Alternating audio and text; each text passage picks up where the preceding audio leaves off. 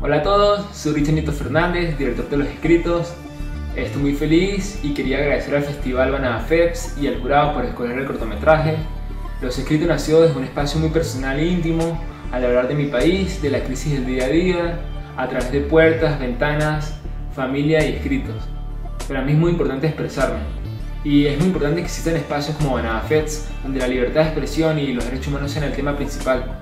Eh, así que un saludo desde Venezuela y que viva el cine.